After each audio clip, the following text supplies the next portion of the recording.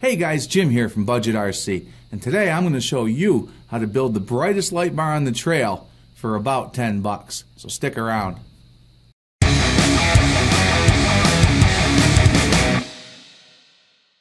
Okay guys, so the parts that you're going to need will really vary depending on specifically how you decide to build this. But no matter how you go about it, ultimately what you'll need is the LED light bar itself, some sort of a housing, and then some sort of a method to mount it to your vehicle. Here you can see that I've got a couple of different LED light bars and a couple of corresponding housings. Now this first LED light bar is this large one here. This one's advertised as a daytime running light. You can find them on eBay for about 5 or $6 a pair. These are nice because they already come pre-wired and they're already designed to run off of 12 volts. I also wanted to try the smaller LED because it's quite a bit cheaper and I liked the smaller form factor better. This LED was only about a dollar or two and it's available at places like GearBest or even on eBay and, and so forth. You have some options in terms of specifically how you want to go about building this. You can make it very simple and just take something like this light here which already has an adhesive backing on it and mount it directly to your vehicle if you choose or you can get something like an angled aluminum bracket mount the aluminum bracket to the roof of your vehicle, and then mount this directly to that bracket. It's a cheap option, it's simple, and you'll be on the trail in no time. I wanted to do something that looked a little bit more professional, a little bit more like a, I guess, a traditional light bar. So what I decided to do was go with this aluminum C channel that you can pick up at your local hardware store. This is a piece of half inch channel made for this larger one here, and this is a piece of 3 8 channel that I intend to use on this smaller light bar. Now, right out of the box, this light bar here won't fit into the half inch channel. It's a little bit too big. So what you need to do is remove this double back tape from the back of it here and remove this black aluminum housing. And you do that just by pulling up the tabs that are wrapped around the back of it. Once you do that, this is what you end up with. And you can see that this is just a basic light bar like the smaller one below. Now, even when you get it to this point, it still won't quite fit into that aluminum channel. So what you need to do is just sand a little bit off of the top and the bottom just to make it a little bit thinner. And I did that on my bench sander because it's a nice flat surface. If you don't have one of those, you can use a file or you can even tape some sandpaper down to your desk. Once you do that, you'll see it slides right into that half inch channel perfectly. It was pretty much the same procedure for the smaller one. This is a 10 millimeter high light bar and I found that it was just a little bit too big to fit inside of the 3 8 channel. So what I had to do again was sand top and bottom, and once you do that, it fits right in. So the first thing you're going to want to do if you've got this plain style bar is go ahead and solder your wires to it. You can see that there's some solder pads right here. And you want to use your wire. In my case, I used a 22 gauge wire. Strip back just a very tiny amount of the wire, maybe an eighth of an inch. Tin it, and then solder it right to these posts here. You can see that I did the same thing on this larger bar. You want to make sure that when you solder this too, that you don't strip the wires back too far.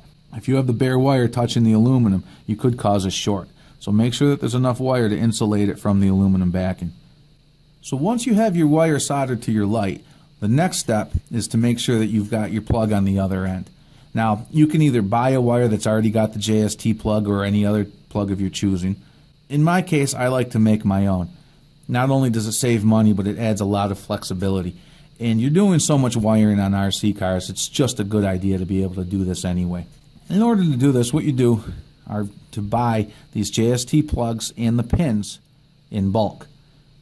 And you use a crimp tool just like this one here that I got from Hobby King to crimp these pins onto the end of the wire and then they lock right into the end of the connector.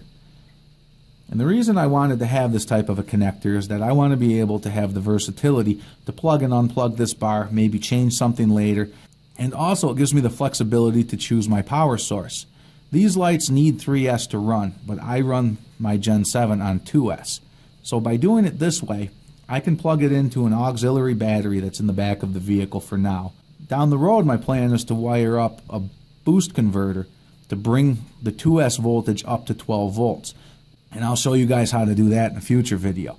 By having the plug on here, it gives me that flexibility to make those types of changes. I also want to run a switch through this eventually so that I can switch the light bar on and off, just like I did with my bomber. The great thing about these crimpers is that you can also use them to make your own servo style cables. So it's just a good idea to have one of these around. So the next thing that you're going to need is some sort of a way to mount it to your vehicle. And I've got a couple of do-it-yourself options that I came up with here, starting with some parts that you may already have. This is a piece of that larger C-channel that I just cut one section off of, and then you can use to mount to your vehicle. Now this is a pretty simple approach, but it should be pretty effective once you make the insert for in here. And the beauty of making that insert is it kind of serves two purposes. It holds the light bar in place and allows you to have something to mount to. So this is a quick, a pretty quick option. You can make that insert out of almost anything. You can use, if you've got some Kydex or some ABS around. If not, you can grab a piece of cutting board. Um, you can use you can use almost any kind of plastic, just as long as it's thick enough. Likewise, you can try using some pre-made angle brackets. I picked up a four pack of these at Walmart for about a dollar and a half. And this will work pretty much the same way as that cut down C channel. You can just mount it just like this and then mount it right to the top of your vehicle. Or you can even move it in like so. One thing you want to notice here is that you do have this big hole here, which is going to be too big for any sort of a small screw you want to use to mount to. So you'll have to cut it right below here and then just use this section. Um, again, you'll still need that insert for inside the C channel. So another option is to make a piece out of some sort of plastic. In this case, I used Kydex. If you've seen my previous videos, you know I'm a big fan of using Kydex for custom parts, and this was no exception. Now my Kydex is an eighth of an inch thick, so I started with two pieces, I glued them together, and I made this internal piece like I had mentioned previously that holds the light bar into place and also serves as a mounting point for the side piece. Once I made one of those for each side, then I made this outer piece. And with this outer piece, it's important to make sure that both sides are the same.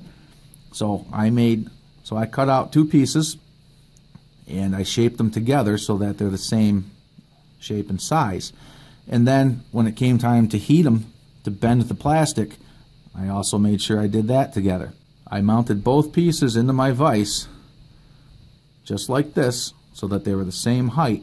When I applied the heat, I made sure to apply it evenly right across, and I used a bigger block of wood to bend them together so that they're the same height. This will allow you to mount your light bar right to your roof for a nice looking installation. The only thing left to do here is to drill the holes in the bottom of this to attach to the roof of your vehicle and to drill a couple of holes through here to mount this piece to the aluminum channel. One other thing you want to make sure that you do is if we turn to the back side here, is you can see that this piece doesn't sit quite flush. What you need to do is make sure that you make a notch in the back of your aluminum so that your wires have a place to go. I replaced the wires on my light bar with some thicker ones, so in my case it doesn't go quite far enough. But all you need to do is take that notch and just make it a little bit deeper. And so, as well as this piece here will work, I wanted to be able to do something that looked just a little bit more professional. And since I have a 3D printer, what I decided to do was take this idea and use 3D CAD to build something that I could print. And this is what I came up with. And you can see that this looks pretty much the same, except it's just a whole lot nicer. And these work in exactly the same way. And these provide a real nice fit and a real nice finish. And as I continued to work, I came up with some new revisions of this, and I've got them all linked below to my Thingiverse page where you can download all of them for free. Print them out yourself and go ahead and use it. But of course, if you don't have a 3D printer, you can still use one of the options I showed before. So my final design that I came up with was an evolution of the one I just showed you. And in my final design, I actually made the two pieces separate, and I put a little bit of a swivel mount in here so that I can adjust the height of the light bar. So now I'm going to take you through the process of installing this into the aluminum C channel. So the first thing that you're going to want to do is drill your holes into your aluminum C channel that are going to be used to retain that block. Now it's very important for those holes to be properly spaced because you've got these larger M3 screws holding these two pieces together. Because it's so important to ensure that that's in the right spot, what you're going to want to do is build some sort of a template that'll allow you to be consistent with your with your screws. if you've got your 3D printer and you're going to use one of my 3D printed designs, I've also got this piece here that I made specifically to do this. So you can print that out as well. And this will allow you to put that piece right on here. Go ahead and put it into your vise so that it's nice and sturdy and then you can drill your back hole. Then you bring it to the bottom side if you're using one of the removable pieces or just the top side if you're using one of the rigid ones. And then you can just flip the piece over and do the same on the other side. You're going to want to use a 1 16th of an inch drill bit. After you drill it, what you're going to want to do is put your light bar in, put these pieces back in, and then go ahead and drill about 4 millimeters down through the holes that you just created in the bar. That'll transfer the holes to this piece. Then you want to take one of your M2 screws and just run it into here and back out. That'll create your threads and it'll clean out the junk. Once you do that, you want to come back to your aluminum channel, drill these holes a little bit bigger. I used a 5 64th drill bit in order to clearance it just enough for the M2 screw to fit. Next, if you're using a countersunk screw, now's the time to take your countersink bit to countersink that hole. And make sure you go slow because if you didn't go quite far enough, you can just go a little bit further. Once you went too far, you're beat.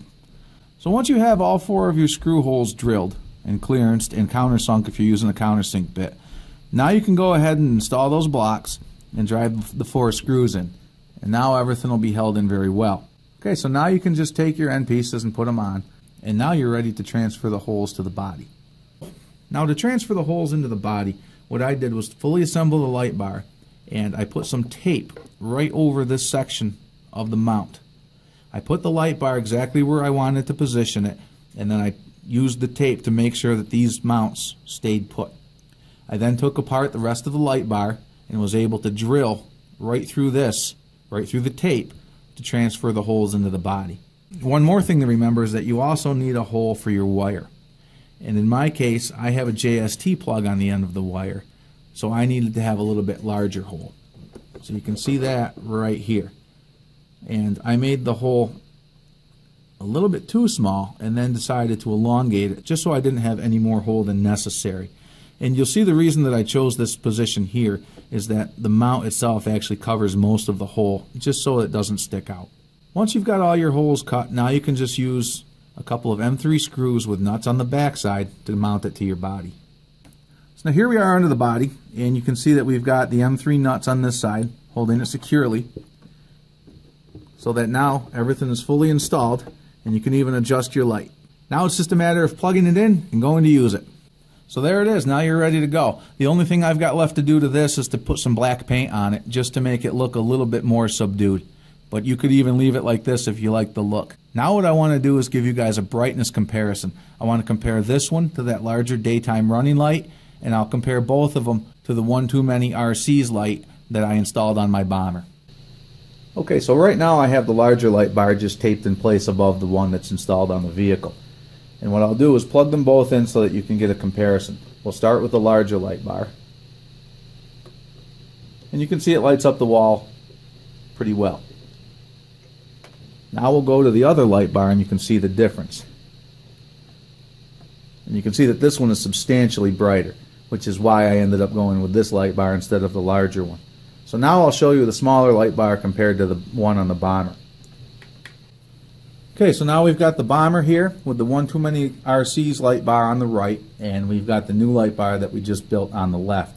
So first I'll show you the one too many RC's bar. And again, you can see it lights up the wall pretty well. Now I'll go ahead and show you the new bar. And I think you can see this new bar is quite a bit brighter than that one too many RCs.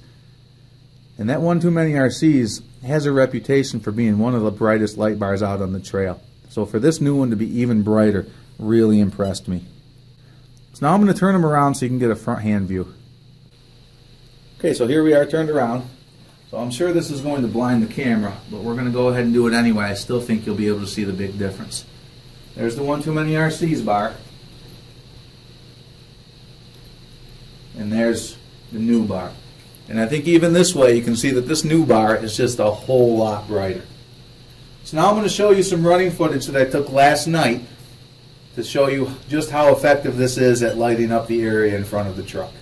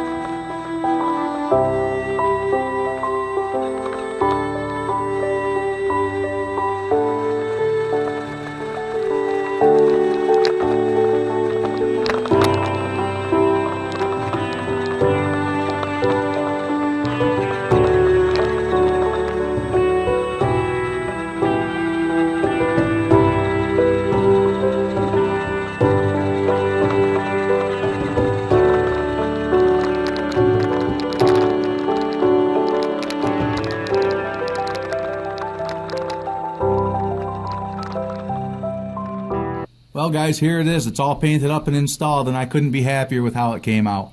I hope you guys learned something watching this video. Make sure to hit that subscribe button so that you'll always know exactly when my new videos are coming out. Until the next time, guys, thanks.